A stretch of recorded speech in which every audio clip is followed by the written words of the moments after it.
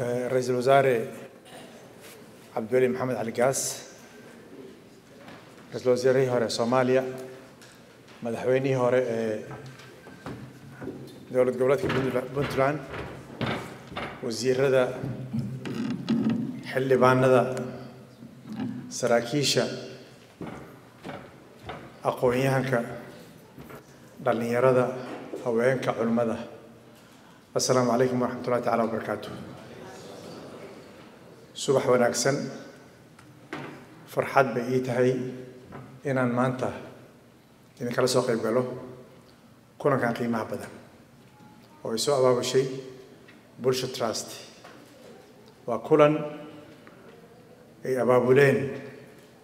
قرب جوكت الصوماليات وحان أغنى هاي قرب جوكت الصوماليات وحان لفلا بركاها هاي قرمتك لو قرمنا يوم bulshada soomaaliyeed. Dhaqaale haddii ahaan lahayd hadday waxbaris ahaan lahayd horumar hadday ahaan lahayd in dad aqoon-yahan ah oo meelaha wax ku bartay ama ku noolaa noloshooda intay ka tagaan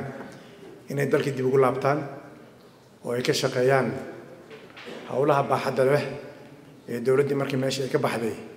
haddii ahaan lahayd dhismo dowladnimo dib u heshiisiin waxbaris dhaqaal abuur khibraddoodii iyo waayo aragnimadoodii inay dhaxal siiyaan dadkii iyo deegaanadii ay ka yimaadeen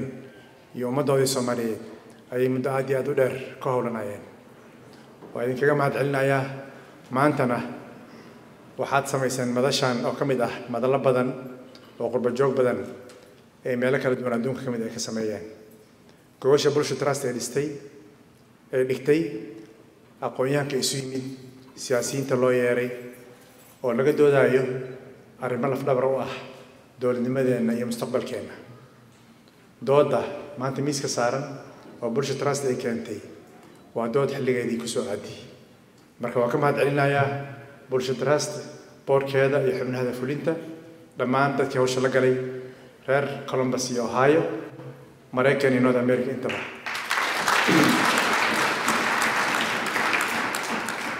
marka taas aan ka soo tago in laga hadlo xaaladda amniga ee dalka in laga hadlo soo kabshasa soo kabshasada dhaqaale ee dalka in laga hadlo siyaasad loo dhan yahay dalka inuu yeesho waa arrin waqtigeedii la joogo xilli munaasab ah ayay timid dadka loo yeeray oo halkan joogana waa dad khibrad iyo waayo aragnimo u leh aanan aaminsanahay inay wax badan kusoo kordhin doonaan doodda maanta aan ka doodayna amniga waxay ku soo aaday xilli dhallinyaro badan oo soomaaliyeed oo wiilal iyo gabdho leh ay har iyo habeen u soo jeedaan dhufaysada ugu jiraan dhiiggooda u qubaayaan dhidadkooda u qubaayaan u dhafraayaan inay dalka difaacaan dadka difaacaan dowladnimana difaacaan. Waxaad og tihiin sanadihii la soo dhaafay dowladda soomaaliyeed waxay aada uga shaqaynaysay dib u habeynta hay'adda amniga. Ciidamada in dib loo habeeyo ciidamo in la qoro in la tababaro in la qalabeeyo in loo abuuro xeryahoodii isbitaalladoodii gaadiidkoodii. Keliya intaas ma ahane in la helo qaybihii kala duwanaa ee bad iyo cirba haddii aan lahaayeen. Taas waxaa nala jooga dad saraakiil ah oo ka soo shaqeeyey khibradda u leh. Dooda dambe ayaan u dayn doonaa.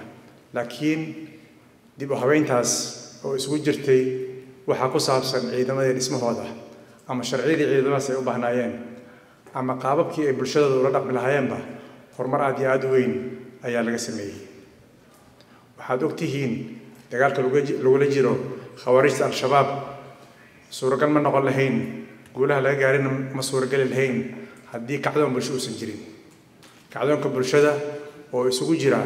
mid ciidan mid dhaqaale mid culummo oo ay ka hadlayaan afkaarta iyo waxyaabaha al-shabaab ay oo dadka oo beenta ay dadku baabi'inayaan dhallinyaro suugaanyahano aqoon-yahano iyo bulshada qaybeeda kala duwan. Kacdoonkaas isaga ah oo ka curtay gobolka hiiraan ee dowlad goboleedka hirshabelle waxa uu ku baahay qaybo aada u ballaaran oo soomaaliya ka mid ah. Taas waxay keentay oo suuro gelisay in bulshada soomaaliyeed iyo dowladda soomaaliyeed ay ku qancaan inay suuragal tahay waqti kooban oo ka dhow intii la filaayay inay kaga adkaadaan al-shabaab. Saaad og tihiin sanadihii la soo dhaafay miiska waxaa saarnay dood odhanaysay shabaab lagama adkaan karo wada hadal ha lagu dayo. Laakiin wixii ka dambeeyey khilaafkii dhex maray oo muddadii jiitamayay doorashada la xiriiray isbeddelkii ka dhacay kabul agos laba kun iyo koo labaatankii oo taalibaan ay kula wareegeen afghanistan markii labaatan sano kadib dhaqaalo badan iyo ciidan badan iyo dagaal badan wax la loodin waayey. Waxaa u soo baxday ayagana suuragal inuu tahay magaalada muqdisho ee guud ahaan dalka soomaaliya inay la wareegaan oo ay ka taliyaan sida taalibaan ay uga talisay afghanistan. Laakiin kacdoonka ka bilowday bulshada soomaaliyeed ay bilowday gacantii ay bixisay dowladda soomaaliyeed wuxuu suuro geliyey muuqaalkii isaga ahaa oo beenta ahaa inuu meesha ka baxay maantana shacabka iyo dowladda soomaaliyeed iyo guud ahaan adduunka ku qanacsan yahay maalmaha shabaab inay kooban yihiin mudanayaal iyo marweyn waxaad og tihiin in kalsoonida ay abuureen dhallinyarada soomaaliyeed ee qaybta ka ah ciidamada qaybahooda kala duwan iyo bulshada oo isbahaystay in ay soo celiyeen kalsooni la xiriirta inay sahlan tahay in laga adkaado al-shabaab. Kadibna laga ay suuragal noqoto dadkii noloshoodii inay dib u maareeyaan maamuladoodii ay dib u dhistaan dhaqaalahoodii ay dib u abuurtaan iskuulladii isbitaalladii waddooyinkii buundooyinkii dekedihii iyo noloshii qaybaheeda kala duwan ee ka burburina ay dib u soo celiyaan kalsoonidaas iyada ah waa xaqiiqo waa dhab. Qof kastoo soomaaliyana maanta waa u muuqataa. Waxaan sugaynaa maalinkii meeshaas iyada ahayd la gaari lahaa waana maalin oo haddii la yidhaahdo waxaad og tihiin diyaargarow aada weyn ayaa lagu jiraa kaasoo ah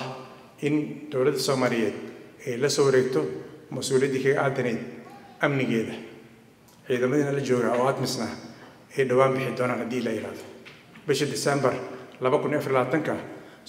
waxay si toos ula soo wareegi doontaa mas-uuliyadda ka saaran amnigeeda cir iyo dhul iyo badintaba bixitaanka uu bilowday bishii juun waxaa baxay